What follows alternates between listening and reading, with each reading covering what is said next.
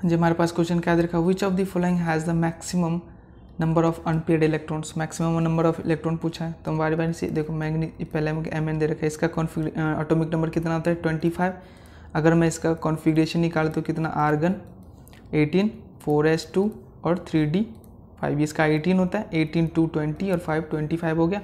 इसका कॉन्फिग ये हम लास्ट चल सबसे लेते थ्री डी से चेक कर लेते हमारा। तो ये हमारा क्या है? Three d one two three four five. Five electron है तो one two three four five. तो हमारे इसके अनपेड इलेक्ट्रॉन कितने हो गए? अनपेड इलेक्ट्रॉन कितने हो गए? फाइव इलेक्ट्रॉन हो गए अनपेड ठीक है? अनपेड पाँच है इसमें। अब हम चेक करते हैं सेकंड में हमें क्या देखा है टाइटेनियम इसका कितना ऑटोमेटिक नंबर होता है? टू एंटी टू इसका कॉन्फ़िगरेशन भी निकाल लेते हैं eighteen four s three d eighteen और टू और ये? टू ट्वेंटी एटीन टू, चार कितने ट्वेंटी टू हो गया। अब इसका क्या भी थ्री डी इससे भी चेक कर लेते तो हमारा क्या हो गया? One two three one two इसके टू ही है तो इसके अनपेड इलेक्ट्रॉन कितने हो गए? टू इलेक्ट्रॉन हो गए अनपेड ठीक है?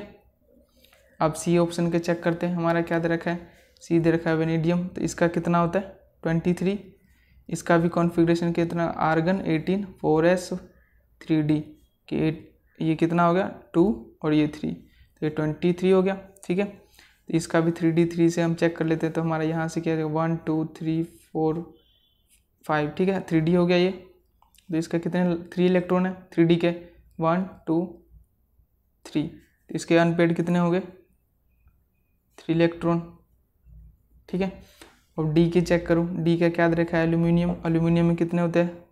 थर्टीन इलेक्ट्रॉन मतलब ऑटोमिक नंबर कितने होते हैं? थर्टीन होते हैं। ठीक है?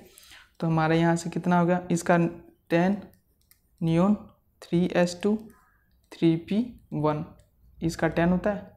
इसका टू तो थर्टीन हो गया। कॉन्फ़िगरेशन हो गया इसका हम लास्ट वाले से चेक करेंगे तो थ्री पी में थ्री पी में कितने ऑर्बिटल्स होते हैं? तीन, एक, दो, तीन। तो इसमें कितने हैं? वन ही इलेक्ट्रॉन है। तो इसका अनपेड इलेक्ट्रॉन कितना आ गया? वन इलेक्ट्रॉन अनपेड है। ठीक है? हमें पूछा क्या है क्वेश्चन में? Which of the following maximum number of unpaired electron किसके है? तो ए का। ए का सबसे ज़्यादा है फाइव अनपेड इलेक्ट्रॉन है। तो हमारा आंसर कौन सा हो गया? हमारा आंसर हो गया ए आंसर इससे आसान सॉल्यूशन और कहीं नहीं।